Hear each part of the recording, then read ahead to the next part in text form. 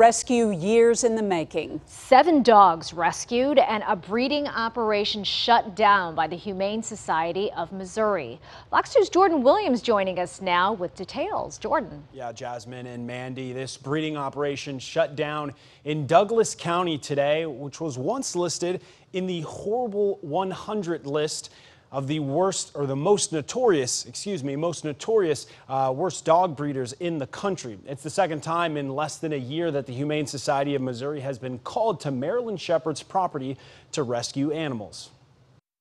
Yeah, you knocked in there. It's. Unfortunately, a rescue like this one is not uncommon for the Humane Society of Missouri. Some of the dogs had severe, severe matting.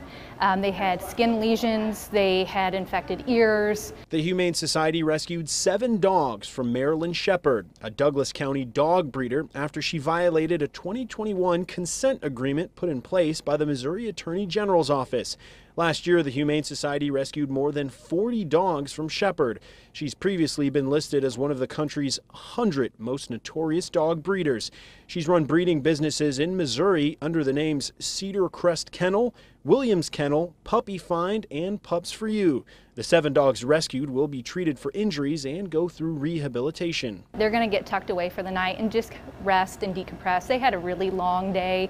A lot of these guys are shy and fearful, so to, today was very very traumatic for them. Ella Frank with the Animal Cruelty Task Force for the Humane Society wants to remind people if they see something to say something. We're their voice. They can't they can't talk and it's up to us to be their voice and that's why it's important um, to end the cycle of breeding so that there's not two-year-old dogs having countless litter after litter after litter um, to educate to give these guys a second chance at becoming a, a household pet, a dog, to play in the backyard.